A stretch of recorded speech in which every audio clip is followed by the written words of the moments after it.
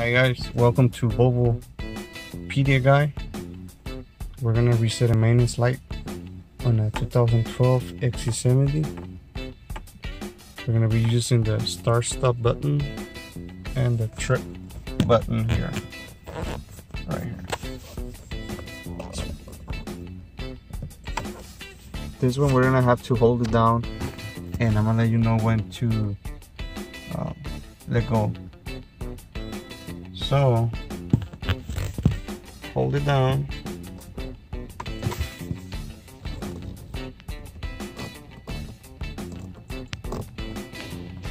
We're gonna click once on start stop button and then one more time and we're gonna hold it down too.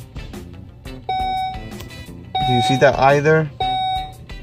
We're gonna see it again, it's gonna be blink twice. Okay, let's do it again. Didn't work this time. It's off. Hold it down.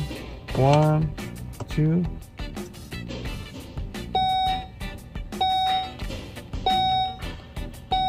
We're gonna see the icon blink twice. One, two. Let go the trip button only. And it should be reset.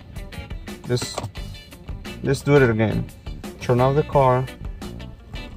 Hold down the trip button push one start up button one two hold it down wait for the icon to blink twice and let go one two there you go. Let go the trip button. So that's it guys. Um it's easy. Sometimes you, you may have trouble with it.